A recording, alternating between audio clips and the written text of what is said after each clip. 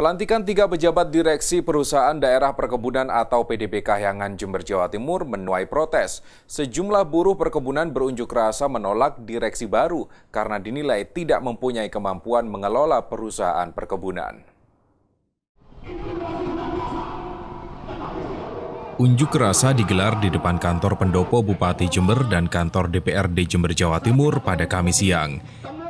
Dalam aksinya, pengunjuk rasa yang berasal dari kalangan buruh perkebunan menolak pelantikan tiga pejabat baru PDB Kahyangan, yakni Sofian Sauri sebagai Direktur Utama, Ismail Haki sebagai Direktur Produksi, dan Leni Puspitasari sebagai Direktur Umum dan Keuangan. Masa menilai ketiga pejabat tersebut tidak memiliki kemampuan mengolah perusahaan perkebunan karena bukan berasal dari perkebunan. Ingin ketemu Bupati, ya kalau Bupati tetap tidak ingin ketemu dan memaksakan tiga direksi yang menurut kami tidak tepat, maka di mana pun kami tetap menolak. Tetapi kalau kita bisa ketemu, ditemukan dengan mereka, ditemukan dengan pansel, ditemukan dengan uh, praktisi-praktisi perkebunan, akademisi dan lain-lain, publik. Yang penting bukan dari pansel, datangkan semua yang dari pansel, sehingga objektif. Biar publik sudah yang menilai sekarang. Ini, ini logikanya aja, bisa. Nakoda kapal pelayaran yang selama ini berkecimpung di laut, kok iso-iso dipilih menjadi direktur perkebunan.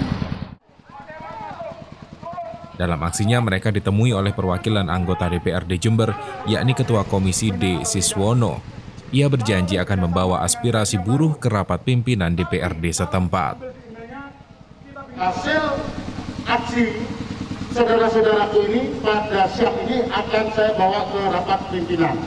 Nah, ini wujud data semangat dari saudara-saudaraku bagaimana eksistensi PDP ke depan Kayangan ini lebih mensejahterakan rakyat. Kan seperti itu